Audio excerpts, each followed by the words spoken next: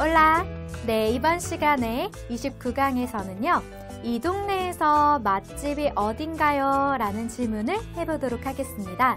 네, 우리 스페인 현지나 중남미에 갔을 때, 어, 동네에 맛집이 어디인지 확인하고 싶을 때, 이렇게 스페인어를 사용하시면 될 텐데요. 자, 이번 시간에는 세의 용법 중에서도 무인칭의 세에 대해서 공부하시게 됩니다. 무인칭이라는 것은 인칭이 없다. 라고 하는 표현인데요. 그래서 또 다른 말로 비인칭이라고도 표현을 합니다. 즉, 주어가요, 없기 때문에 그냥 불특정 다수, 즉, 사람들을 주어로 해서 사용하는 동사이고요.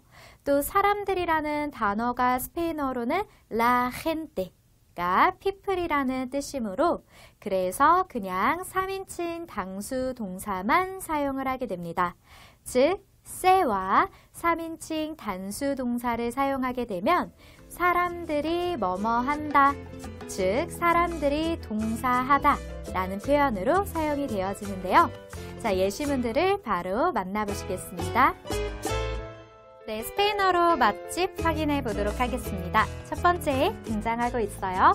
악기 여기서 논데 어디가 세꼬메비엔 네, 여기 이렇게 등장하고 있는 게 무인칭의 세가 되고요. 3인칭 단수 동사로 무인칭을 뒷받침해주고 있습니다. 즉 여기서는 이 세 자체가 사람들이라는 주어를 가지기 때문에 여기 어디서 사람들이 먹나요? 잘? 이런 뜻이돼요. 그래서 스페인어적인 표현으로는 여기 어디가 맛집인가요? 라고 할 때는 donde 어, come bien aquí 이런 식으로 아끼는 뭐 뒤에 가도 부사여서 상관없고요. 또 어디에서 라고 해서 아돈데를 쓰셔도 상관은 없습니다. 네, 어디에서 라는 표현이 되고요. 자, 한번 따라해 주시면 donde se come bien 네, 잘 기억해 주시면 유용하게 사용하실 수가 있겠죠? 자, 무인칭 계속해서 볼까요? 사람들이 라고 바로 해석을 해볼게요. 사람들이 말한다 스페인어를 어디에서? 꾸바에서. 즉, 꾸바에서는 스페인어를 말한다. 라고 볼 수가 있는 거죠. 무인칭은 이처럼 3인칭으로만 다 맞춰주면 되기 때문에 정말 간단하고요. 해석상 사람들이 라는 표현만 넣어주시면 그만입니다. 자, 세리세 게 마냐나 바유 베르 세디세 사람들이 말한다 깨 이하라고 내일 이르아 동사 원형 비고잉트 구문이 되는 거죠. 내일 비가 올 거라고.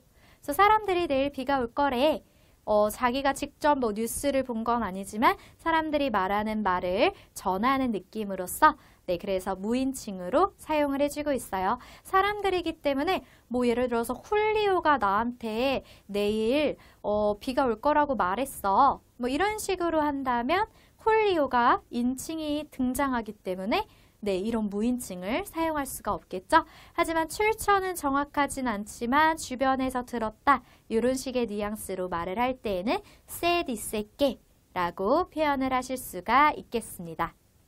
결국에 우리 메떼세, 노스오스세 중에서 세 번째 3인칭 단수 세를 사용하시고요. 그 다음에 뒤에 동사는 3인칭 단수 형태로 맞춰주시면 사람들이 그렇다더라 라는 뉘앙스로 무인칭의 구문을 만드실 수가 있습니다. 더불어서 이번 시간에는 또마르 동사를 들여다보도록 할 건데요. 이 또마르 동사는 의미가 굉장히 많아서 그 쓰임 또한 굉장히 다양한데요. 어, 잡다 쥐다 라고 할 때 일단 사용이 됩니다. 또마르 라 마노, 손을 잡다 라는 뜻으로 사용이 될 거고요. 받다, 얻다, 획득하다. 또마에스도, 네, 이거 받아 지금 명령법으로 얘기하고 있는데 명령법은 우리 교재 후반부에서 자세히 들여다보실 수가 있습니다. favor, please 붙여줘서 조금 더 공손하게 표현을 해주고 있고요.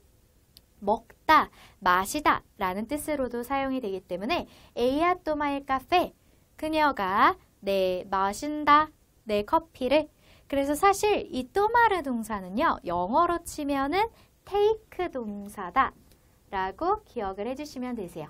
우리 영어의 take 동사도 버스 타다, 먹다, 뭐 취하다, 잡다, 얻다 이럴 때 다 사용이 되죠. 마찬가지의 동사입니다. 계속해서 탈 것을 타다, 또마모스 비시클레타 하게 되면 우리 자전거 탄다 라는 표현이 되고 있고요. 사진을 찍다, 촬영하다, 또마루나 포토, 사진 찍다 라고 할 때도 take a picture 처럼 이렇게 네, 또마르 동사를 사용해주고 있습니다. 네, 또마르 동사의 대표적으로 한 다여섯 가지 정도 되는 의미는 금방 익히실 수가 있을 것 같고요.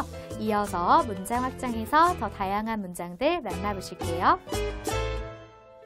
네, 이번에는 맛집이긴 맛집인데 커피 맛집이다 라고 네, 뭔가 카, 카페를 얘기를 하고 있는데요. 자, 보니까 세토마 무엔 카페 즉 사람들이 마신다 좋은 커피를 en esta cafeteria 이 커피숍에서 그래서 여기 커피 맛집이에요 라는 표현이 되는 거죠. 그래서 무인칭 표현 사용해주고 있고요. 부에노라는 형용사는 얘는 특이하게 남성 단수명사와 붙어서 수식이 될 때에는 오가 탈락이 돼요. 그래서 마치 운오가 운이 되는 것처럼 그래서 부에노는 명사 뒤에서 수식이 안 되고 앞에서 수식하는 형용사다 라는 부분도 기억을 해주셔야 되겠습니다.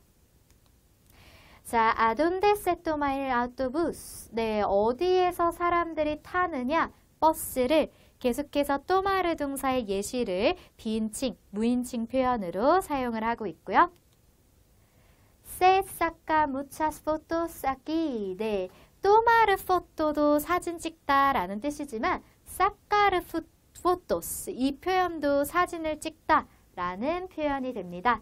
포토는 오로 끝나지만 뒤에 그라피아라는 말이 생략이 되어 있어서 원래 플레임은 아로 끝나는 여성 명사이기 때문에 무초가 여성형으로 바뀌어주고 있고요.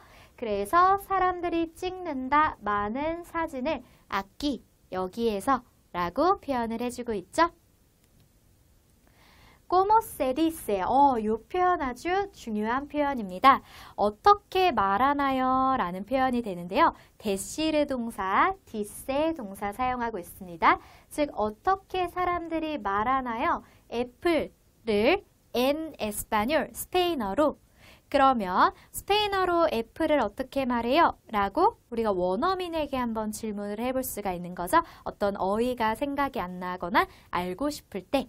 그렇, 그리고 또 스페인 사람이 우리한테 en coreano, 뭐 한국어로 올라가 뭐야?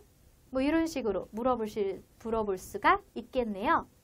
네, como se dice hola en coreano 하면은 한국어로 올라가 뭐야? 라고 했을 때 se dice 안녕이라고 말해주면 되겠네요. 자, 세디세께 구문 또 등장하고 있습니다. 사람들이 말한다. 마리아가 세까사콘 훌리오. 자, 여기서 세는 어떤 세일까요? 우리 이미 배웠을 거예요. 제기 동사입니다. 그래서 까사르세라는 표현은 여기서 세는 제기의 표현이라 네, 까사르스 자체가 결혼하다라는 표현이 되거든요. 그래서 마리아가 훌리아랑 결혼한다고 말하더라. 요런 뉘앙스로서 여기 나온 쎄는 제기, 앞에 나온 쎄는 사람들이 그러더라. 그래서 무인칭의 쎄가 되겠습니다. 자, 빠랗게 무엇을 위해서 세 우사 에스도 사람들이 사용하나요? 이것을 노르말멘테 보통 일반적으로 라고 표현을 해주고 있죠. 빠라는 전치사 for에 해당하기 때문에 빠랗게 하게 되면 for what? 무엇을 위해서? 라는 표현이 됩니다.